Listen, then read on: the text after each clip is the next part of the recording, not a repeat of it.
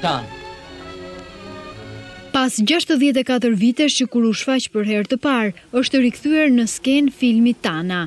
Tani më i restauruar me regji të të madhit Kristaq Dhamo dhe me rolin kryesor të artistes Tinka Kurti. Mes emocionesh artistja e madhe u kthye për të ndjekur premierën e cila është realizuar në Korçë. Jam Tinka Kurti, kam lujt filmin Tana, kam ardh sonte me kujtua të rëzik që ka shkuar, kam ardh, na përshëndet nga një të. Si ndihesh, ky film është xhiruar në Korçë, ende duhet nga Korçarët, si ndihesh?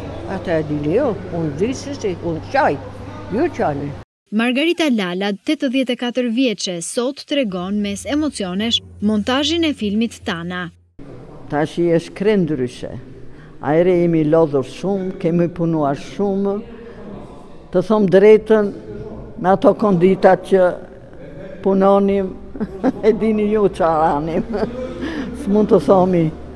Pas premierës kombëtare në Tiranë, e cila u prit mjaft mirë, Kjo premierë ishte pjesë edhe e Festivalit Lumiere në Francë, një muaj më parë.